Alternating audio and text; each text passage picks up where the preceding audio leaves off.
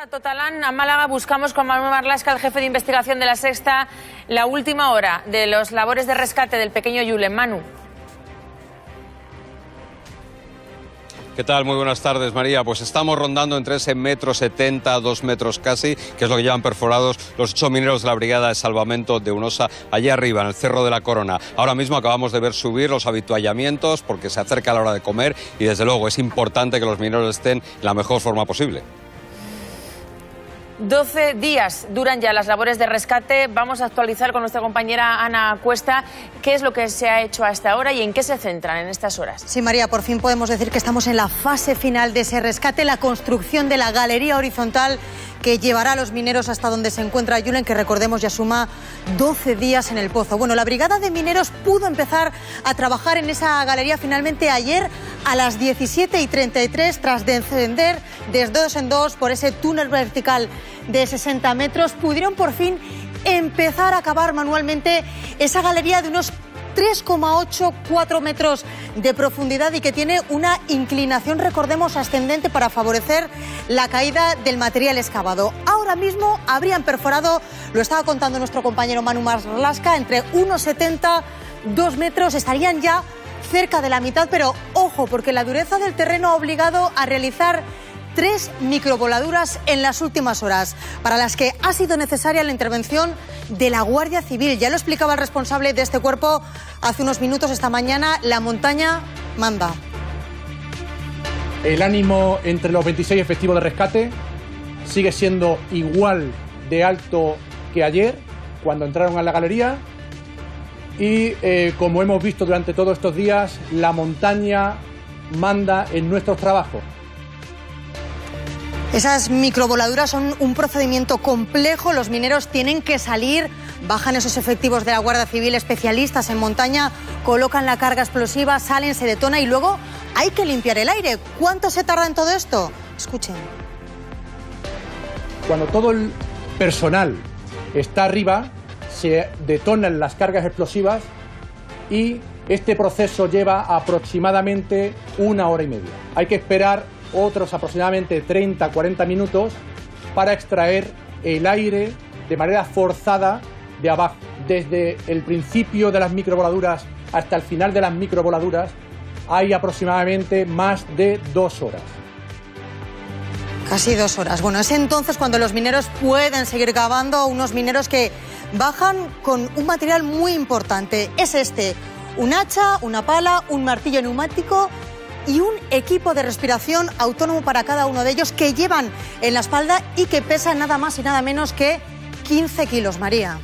Saludamos ya a Juan José Fernández, es decano del Colegio Oficial de Ingenieros de Minas del Noroeste de España y fue director técnico de la Brigada de Salvamento Minero entre 2003 y 2008. Señor Fernández, conoce muy bien, muy bien el trabajo que están realizando los ocho mineros que están intentando llegar hasta Yulen, porque usted trabajó eh, con un equipo como el de esos ocho mineros.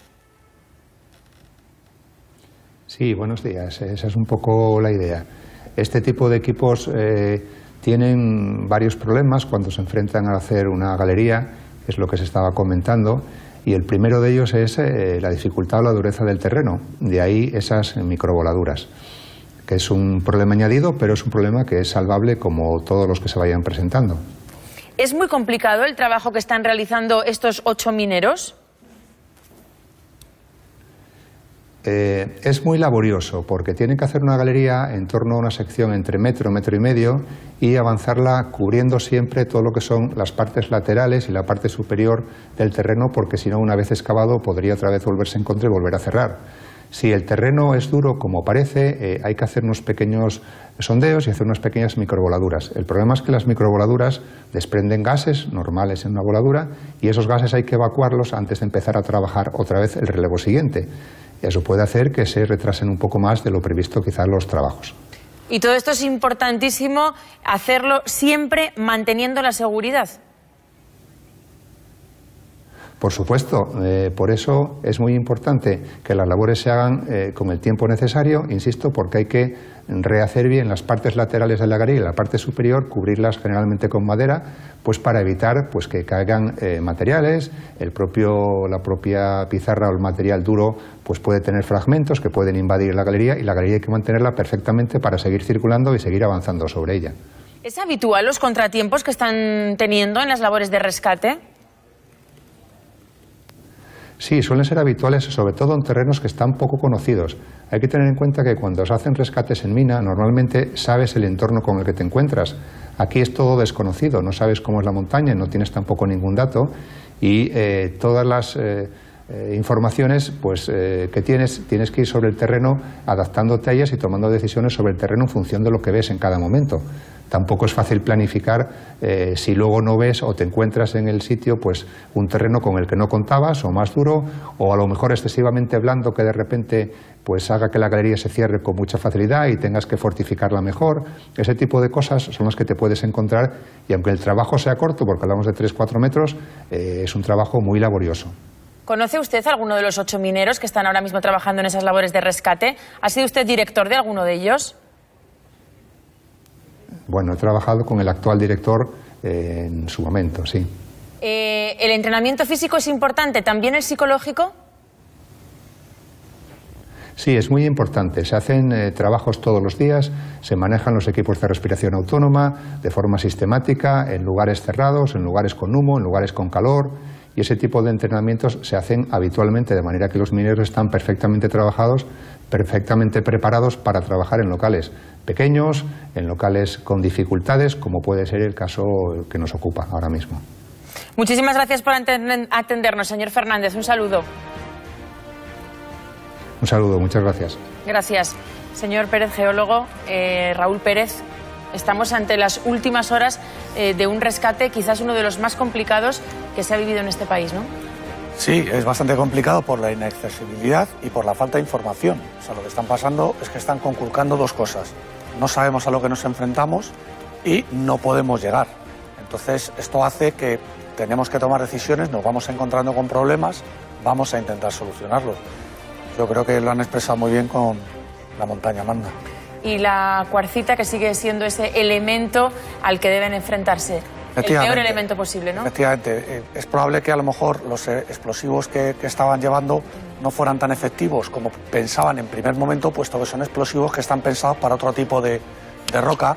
Eh, en el caso de espeleo socorro, que serían en, cuevas que son de tipo carbonatado, y es probable que o bien que tengas que utilizar más o bien que tengas que utilizar algunos con una mayor velocidad de combustión o mayor capacidad de fragmentación, hace que obviamente se está retrasando. Manu Marlasca, avanzan esas labores, esa perforación de la galería. Nos decías antes que estaban ya habían alcanzado el metro setenta. Cuanto más avancen, más fácil será.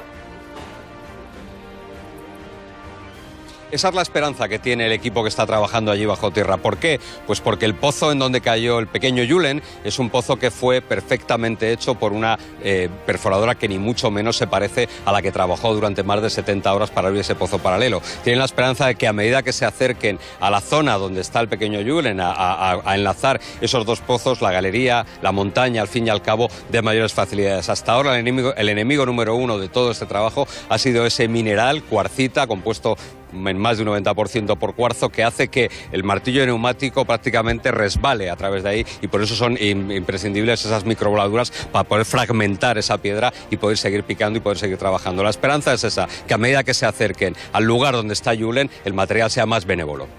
Raúl, cuanto más cerca, más fácil. Sí, eh, en principio tienen que estar acabando con lo que sería la geometría de la capa de cuarcita y tendrían que acercarse a los materiales que puedan ser más de tipo filita o pizarra. Pero bueno, Depende de la orientación, que es un dato que no tenemos. Es muy difícil hacer cálculos. Si no tenemos toda la, geometría, es muy difícil hacer cálculos. Muchísimas gracias por acompañarnos. Gracias.